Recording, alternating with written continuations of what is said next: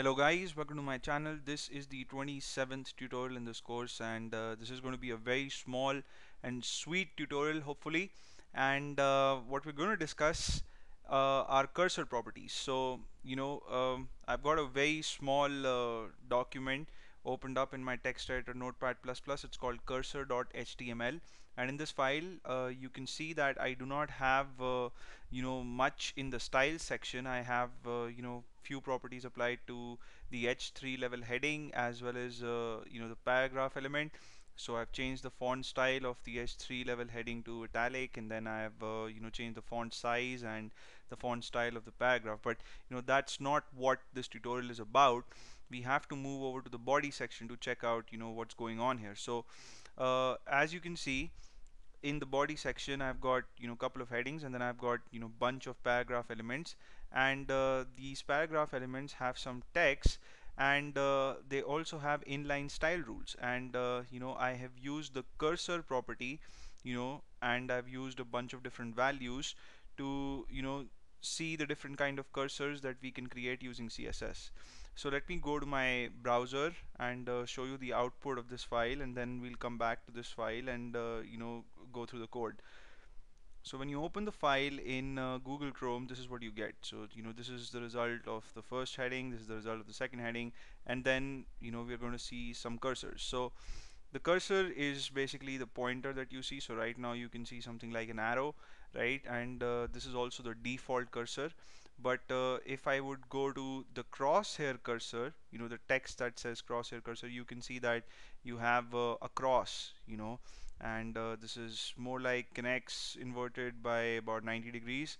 And then uh, if I move down to the classic hand point pointer I see the hand pointer. You know this is uh, something that you see mostly with links you know uh, something that you can click on or something on which you're supposed to click.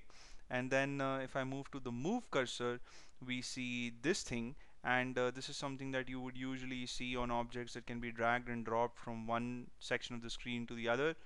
And uh, then if I move down further to the wait cursor we see the classic wait cursor in Microsoft Windows. I don't know if you know you would see the same thing in Mac you know probably something else. But uh, I'm sure you guys are familiar with this.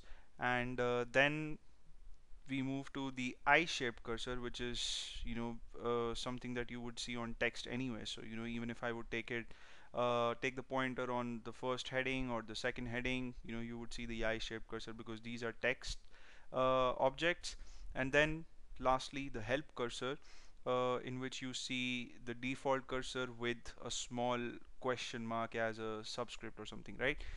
So the way you create these cursors is by using the property cursor right? And uh, if you wanted uh, you know this to be applied uh, to the paragraph element here you could do that as well.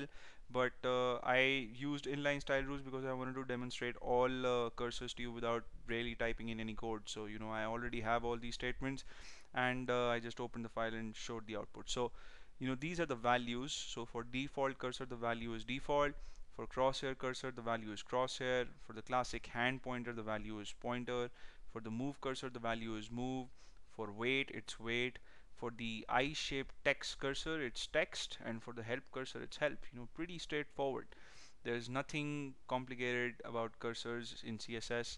And um, that's it for this tutorial. I'm going to see you in the next video in which we'll uh, continue our discussion on CSS properties and I hope you guys had fun watching this one. You may subscribe to my channel if you haven't already. I'll see you soon. Till then, take care.